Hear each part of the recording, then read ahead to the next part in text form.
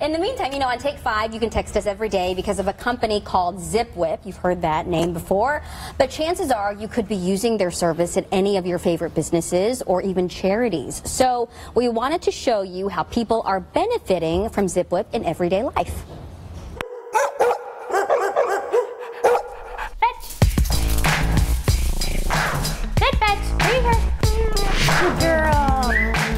My name is Deborah. I've been here for 16 and a half years. So we started with ZipWhip a couple years ago. Hey, you know, don't forget Stevie has an appointment on Monday. But texting is so quick and so fast and you when you have pets under anesthesia, you need answers. You know, you can't leave messages and play that phone tag. This is Stevie. Um, she's a girl, not a boy, and um, she's five years old. She has her own Instagram handle.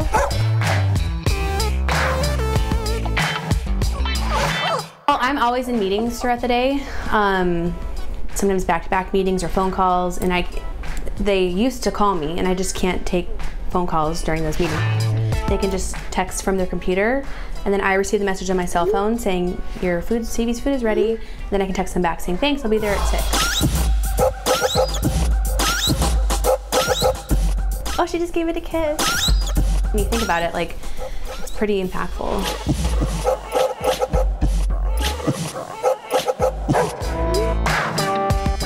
It's an incredible, incredible gift. So I'm Seth Kirby. I'm the executive director here at Oasis Youth Center.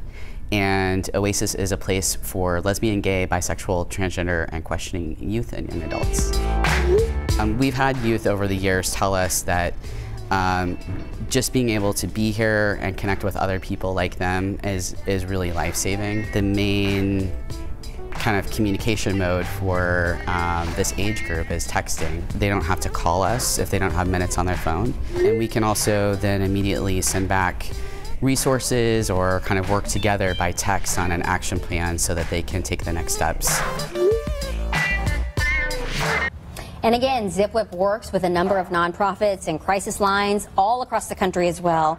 And if you missed it, groups like Oasis, you know, they give that service for free. So high five to them. Yes. We really appreciate that. They also have another project in the works with grad students and the homeless right here in Seattle. And one day we hope to give you an update on that as well. Nice. But yeah, so you think you're just texting us, you know, but mm-hmm. I mean, ZipWhip is all out, you know, Yep. all out doing good stuff. Yep. Love that. I mean, obviously, you need to make money as a business, but when you're able to give, you know, mm-hmm. to, just to, to do some good, I think that's just mm-hmm. that's heartwarming. Yeah. Thank you. Cool. Yeah.